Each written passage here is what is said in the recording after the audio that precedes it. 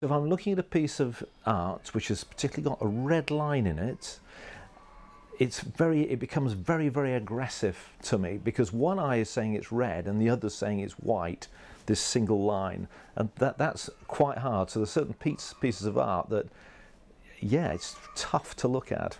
The first time I realised that there was, there was an issue, I was actually on holiday in, in France and it was, it was particularly sunny that day and I, I, don't know why, but I just suddenly noticed black dots in my vision and swirls, which I, I believe is a classic symptom, and I thought that's a bit strange.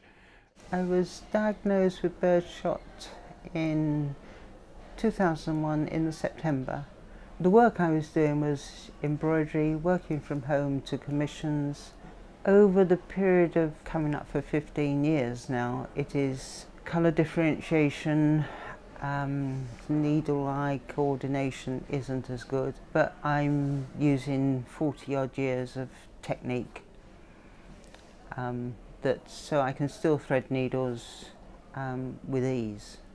When, when I was first diagnosed, um, I was obviously quite concerned about it, and it was just a case of me trying to find out more and deciding what could be a good um, course of action to take in terms of diet and, and taking supplements as well.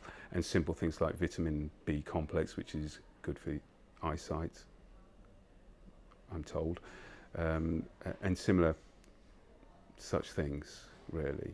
Um, pineapple, apparently, it's good for your eyes. Initially, I was afraid of the dark. Um, and for a while I slept with the light on. I suppose initially it was um, scared of going blind because birdshot's, unknown cause, um, almost unknown treatment. Uh, yes, Moorfields and other hospitals manage patients,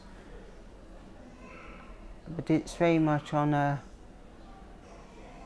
visit by visit basis as opposed to a long-term plan. It is that unknown that I've never been comfortable with. You actually talk about it now, it's actually quite emotional because um, it had taken three years from when I first noticed symptoms and I, I used to go to, to Birmingham and they were convinced it was something in the optic nerve and you know I sat in a room with loads of experts around me and you know nobody had any idea really what it was and and then I had a, I had a flare up with people with the condition be familiar. Suddenly you see loads more dots and I spoke to my doctor, this was a Monday morning, and he said, oh, go up to Birmingham. And there's a certain pattern, the way that people look at your eyes. It's all slightly different, but there's a pattern that you recognize. And his pattern suddenly changed. And at that point, I knew he'd seen something. And so I said to him, so you know what it is? And he said, yes, I think I do. I'm going to get a second opinion. And he went and got somebody else who was back within, within five minutes. And the other guy said, yeah, I think you're right. And he said, you've got birdshot. And it, it was a huge relief to have a, a name to hang around the condition. I was grateful for the initial visit to my optician. Um, with the eye pressure being off his scale of whatever instrument it is he uses, um, it gave him a shock.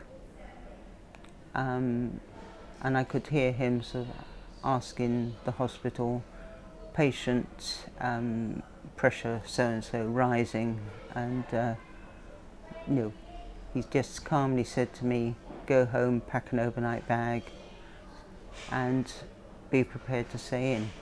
And it was all in place and it was I think that's what calms you down when you've had something quite frightening um, but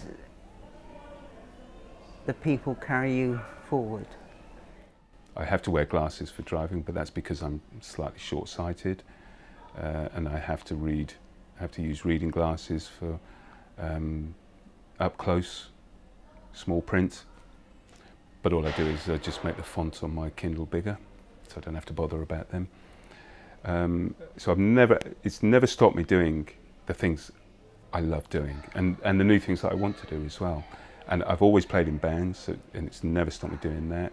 I've always read books, and God forbid the day comes when I can't actually read a book. Um, that I would find very difficult to deal with. I'm not sure that I would want to go on to medication that will differ my immune system because I do stay very well.